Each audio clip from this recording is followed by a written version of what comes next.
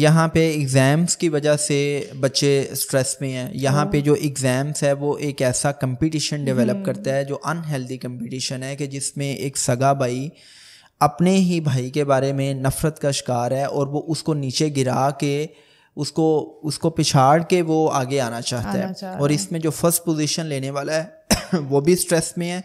उसमें इसमें जो सेकंड पोजीशन वाला है वो इस वजह से परेशान है कि उसकी पहली पोजीशन क्यों नहीं आई। और इसमें जो थर्ड पोजीशन वाला है वो हर वक्त इस रेस में है कि उसने पहली पोजीशन कैसे लेनी है।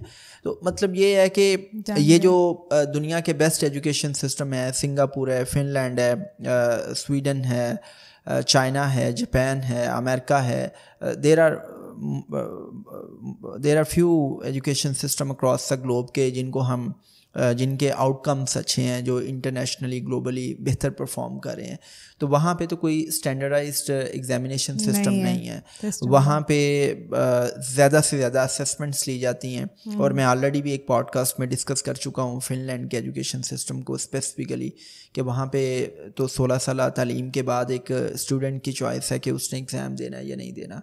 हम्म। तो यहाँ पे तो एग्ज़ाम्स के नाम पे बच्चे इतना मेंटल टॉर्चर हैं मैंने इस पर बड़ी तफसीली बात की थी कि ये जो बच्चे मॉरली इतने करप्ट हो जाते हैं उस करप्शन के पीछे बहुत बड़ा फैक्टर एग्ज़ाम्स भी हैं कि बच्चे पीयर प्रेशर में पेरेंटल अब्यूज़ से बचने के लिए अपनी सेल्फ इस्टीम सेल्फ रिस्पेक्ट को सेव करने के लिए कि मुझे क्लास में ह्यूमिलिएशन का सामना ना करना पड़े। टीचर मुझे खड़ा करके ये ना कहे कि भाई तेरे दस में से पाँच नंबर क्यों आए हैं? बच्चे चीटिंग की तरफ़ आते हैं।